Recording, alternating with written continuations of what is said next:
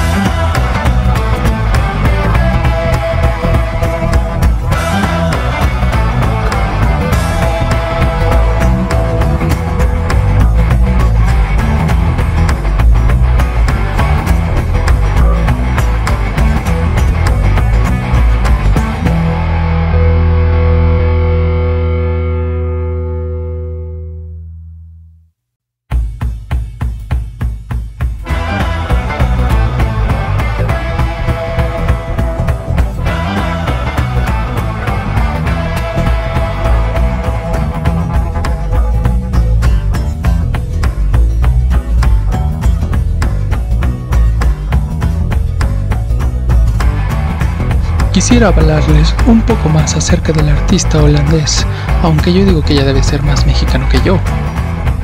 Ha estado trabajando aquí en nuestro país desde 1978 y ha recibido la Orden Mexicana del Águila Azteca por parte del gobierno mexicano por su trabajo en el arte y la arquitectura.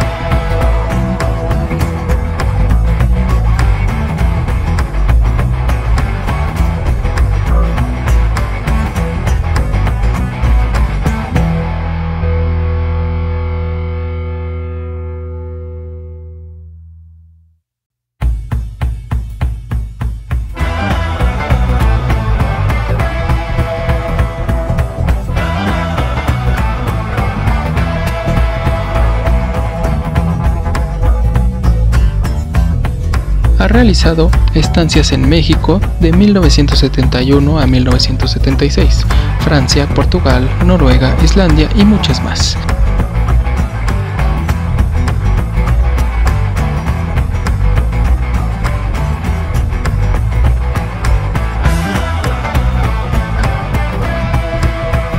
Colaborado con varios escritores para diseñar e ilustrar sus libros, incluyendo a Gabriel García Márquez y Seimus Heine, y cuyos libros contienen trabajo publicado en México, España e Inglaterra.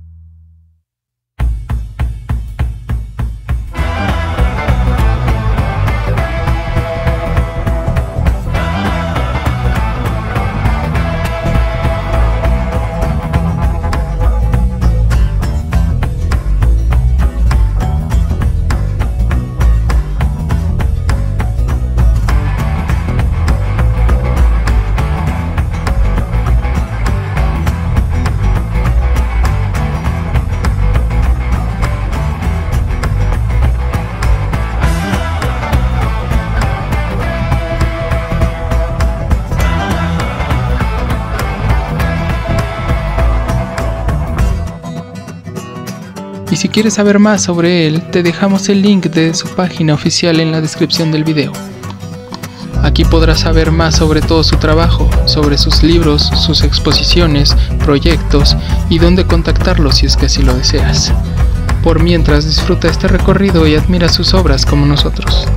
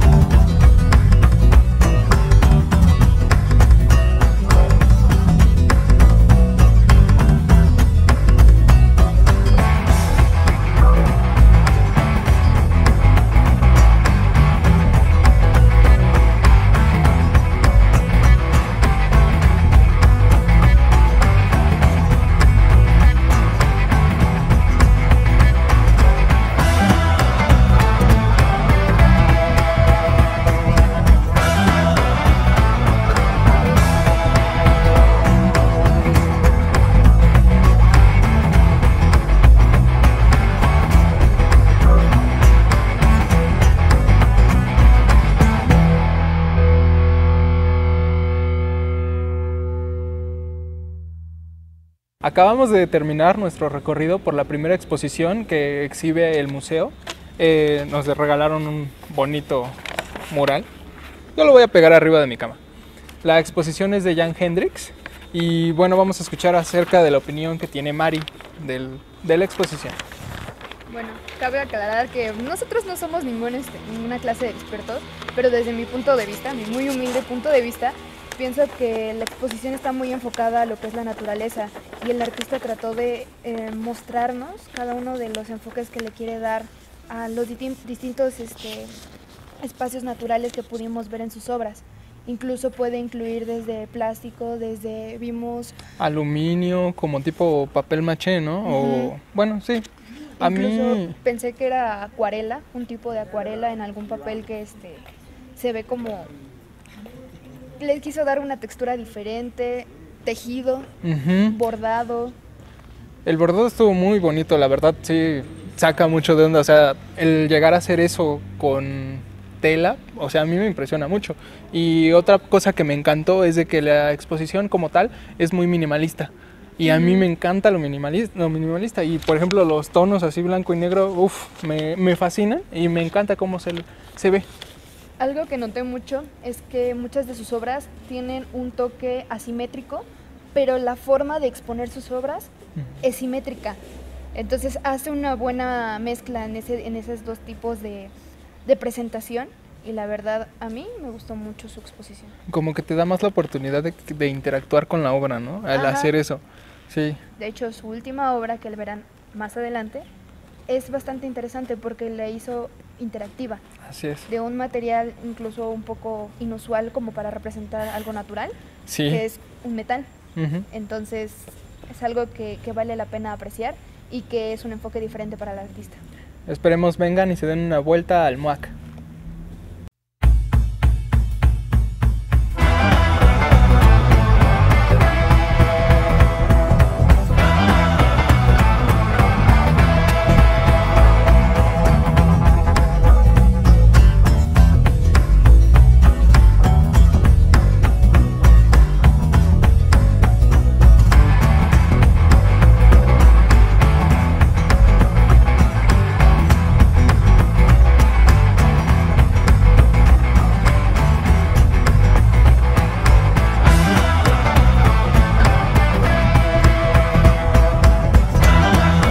Melanie Smith, por otro lado, es una artista de Inglaterra, nacida en 1965, quien ha vivido y trabajado en México desde 1989.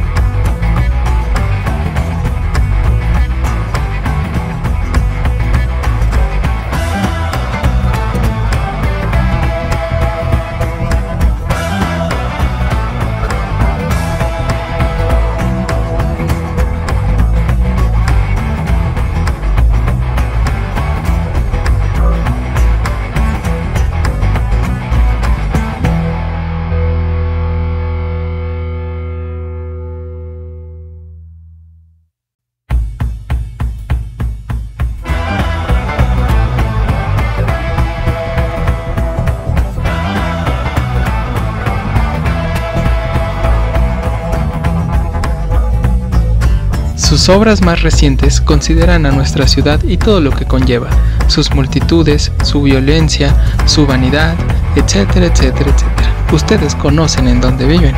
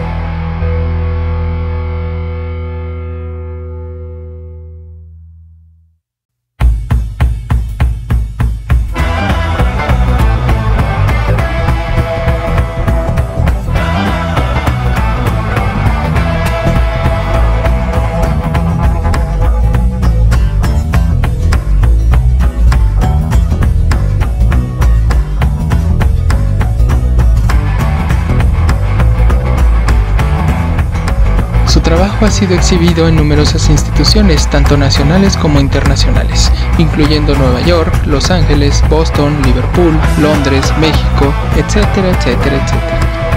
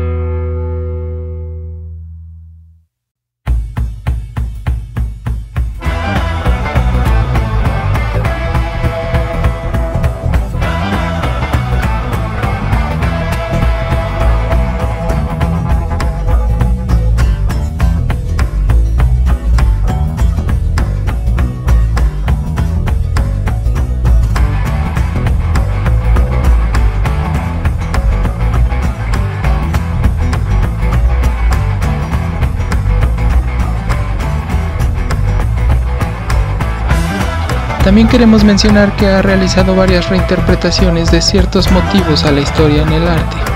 Ha trabajado en el Palacio Nacional con murales de Diego Rivera. Y asimismo dejamos el link directo a su página en la descripción del video para que conozcas más sobre su trabajo.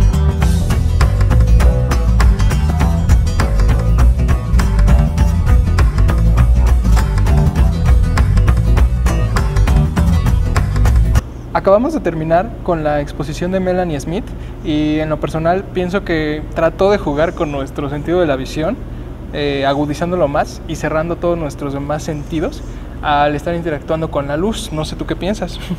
No lo sé, siento que jugó, con mi ansiedad. no sé, es que cuando empezó la, exposición, eh, no sé, empecé a notar muchas cosas muy bizarras.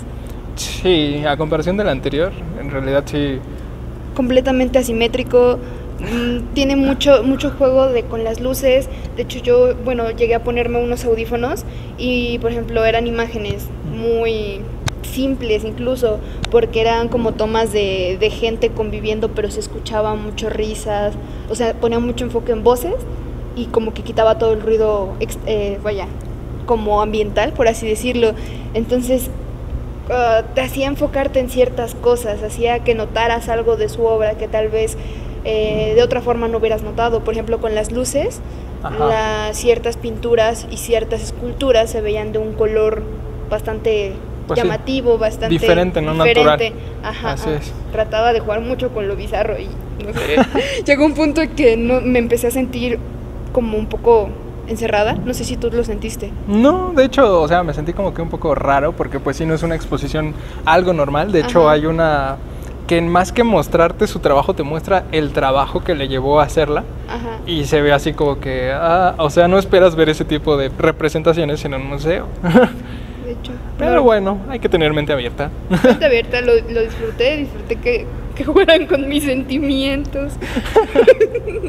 bueno, los dejamos con la última pieza de la exposición. Espero les guste.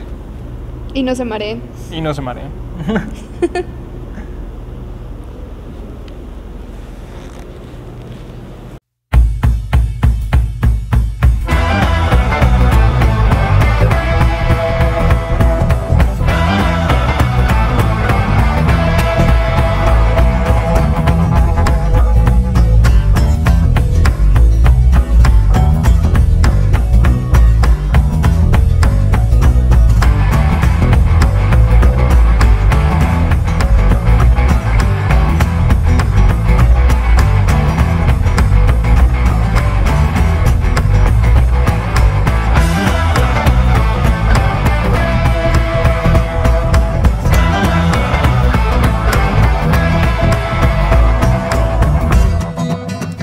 Virginia Pérez Ratton, nacida en 1950, dedicó gran parte de su vida a promocionar las artes visuales y al desarrollo de artistas en América Central y el Caribe. Falleció el 6 de octubre del 2010 y hoy pudimos observar un poco de ella en este espacio del museo, que por cierto no nos fue posible grabar con libertad, pero esperamos que se den una vuelta a nuestras redes sociales como Instagram ya que ahí estaremos exhibiendo todas las fotografías que tomamos en esta sala.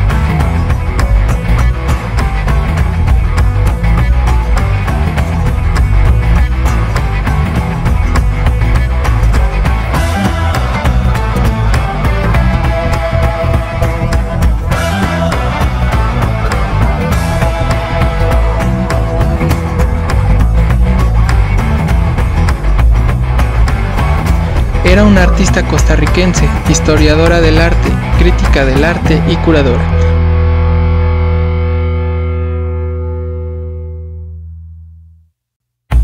Obtuvo su título académico en literatura francesa en la Universidad de Costa Rica.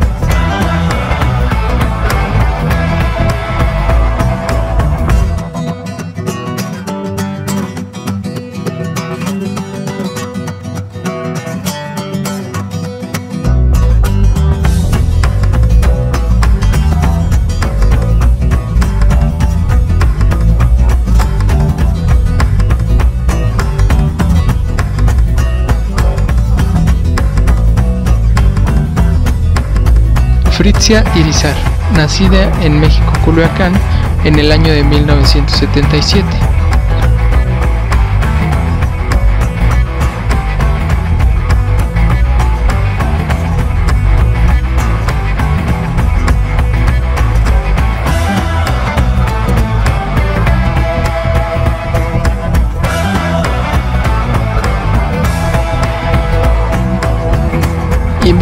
Sobre el efímero del valor de materiales como el oro, los diamantes y las perlas, desde su correlato con los procesos de trabajo, explotación y consumo.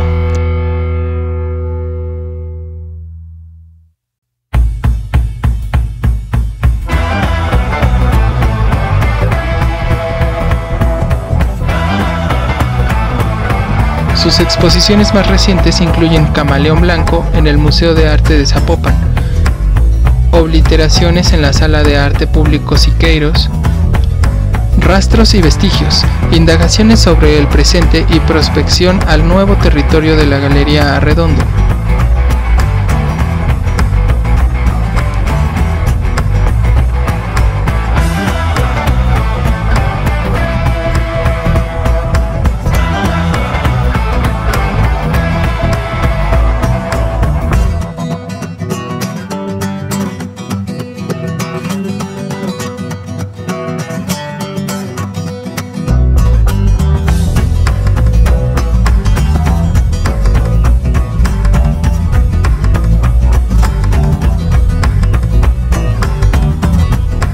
Te recuerdo nuevamente que todas estas obras podrás observarlas detalle a detalle en nuestra red social Instagram. Date una vuelta a partir del lunes para que puedas verlas con tranquilidad.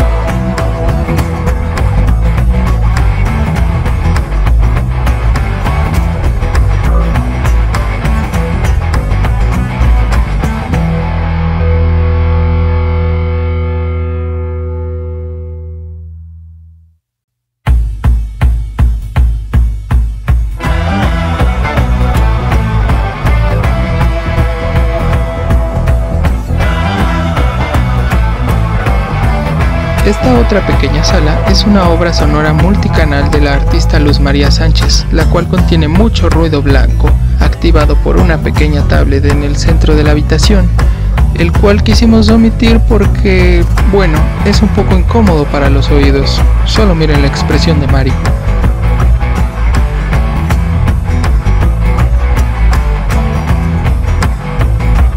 Por último, pero no menos importante, pasamos a la sala de Ai Weiwei, del cual temo pronunciar mal su nombre. Es por eso que les pondré este audio de cómo debería de haberlo dicho. En su sala tampoco pudimos hacer muchas tomas para ustedes, pero de igual manera los invito a pasar a nuestro Instagram y poder observar todas sus obras con tranquilidad.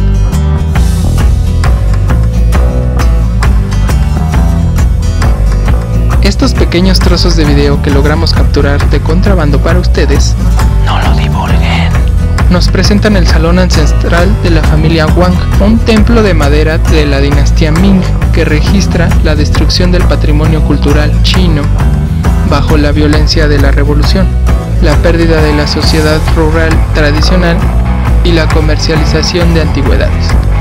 Este proyecto une la inquietud que representa la destrucción del patrimonio cultural y nuestra relación con los ancestros, el trauma que significa el atentado contra el futuro, el cual supone la violencia contra los jóvenes.